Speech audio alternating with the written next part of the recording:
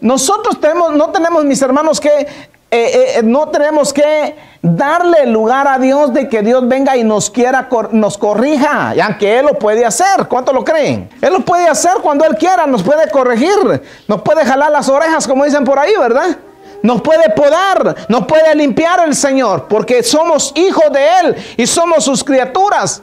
Pero escuche bien, porque lo que Dios está esperando de cada uno de nosotros son frutos. Diga conmigo frutos. Eso es lo que Dios está esperando de nosotros, frutos.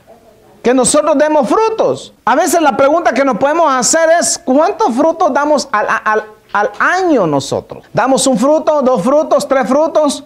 ¿Llevamos cinco años en la iglesia? Es tiempo de que tengamos tres, cuatro, cinco frutos. Escuche bien porque en, cuando se trata de frutos de la obra del Señor, Dios no está hablando de, de algo físico, algo, perdón, algo material. Está hablando de almas que nosotros tenemos que dar. Invitar a alguien a la iglesia, ir a orar por alguien, hacer la obra del Señor. Algo tenemos que hacer. Pero que hay que dar frutos, hay que dar frutos en el Señor. Mateo capítulo 3, vea conmigo el verso 8 y verso al verso 10. Mateo capítulo 3, el verso 8 al verso 10 dice, Haced pues fruto digno de arrepentimiento y no penséis decir dentro de, vos, de vosotros mismos, Abraham tenemos por padre. Porque yo os digo que Dios puede levantar hijos a Abraham aún de estas piedras. Y ya también el hacha está puesta a la raíz de los árboles. Por tanto, todo árbol que no da buen fruto es cortado y echado en el fuego. ¿Se da cuenta por qué a veces Dios tiene que hacer una limpieza en la iglesia? A veces. ¿Se da cuenta por qué Dios a veces eh, eh, eh, pone una presión en nuestras vidas? Es porque, mis hermanos, es porque Dios está esperando fruto de nosotros. Y el, y el, pueblo de Israel estaba en ese tiempo tan acomodado, tan viviendo una, una religión donde, donde Jesús les dice, haced frutos dignos de arrepentimiento. Y no andéis pensando en tu corazón, Abraham tenemos por padre. El hacha, dijo el Señor, ya está puesta a la raíz de los árboles que no dan fruto. Jesús es la semilla más grande. La primera semilla que encontramos plantada en la tierra, estableciendo el reino de los cielos, se llama Jesús. Y Jesús empezó a multiplicar en 12, luego en 70, luego empezó a crecer el reino, el evangelio de la palabra del Señor empezó a expandirse, empezó a crecer. De tal manera que ha llegado hasta este año, este tiempo.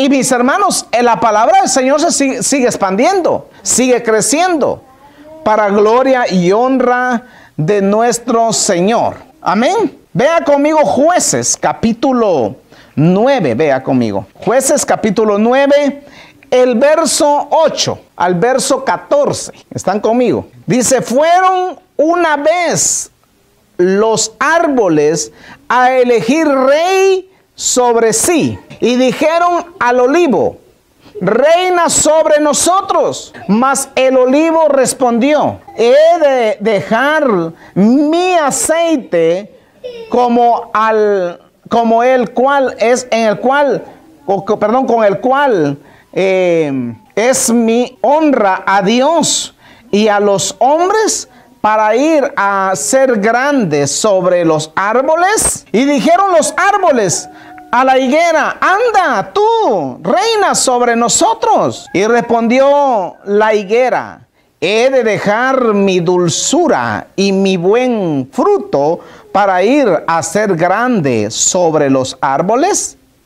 Dijeron luego los árboles a la vid, pues ve tú, reina sobre nosotros. La vid le respondió, he de dejar mi mosto que alegra a Dios y a los hombres para ir a ser grande sobre los árboles. Verso 14.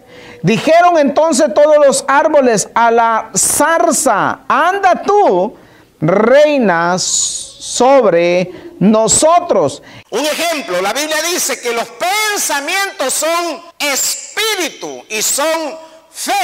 Entonces, porque los pensamientos no, no viven en el plano natural de los seres humanos, sino que lo sobrenatural trae al presente lo espiritual y cuando logra usted y yo conquistar lo espiritual, lo podemos trasladar al plano natural. No sé si me doy a entender. Ok, usted tiene un sueño, Dios le muestra el futuro, ese futuro se va a hacer realidad, quizá no en su momento, porque está en el plano espiritual, Dios lo está trasladando al plano natural.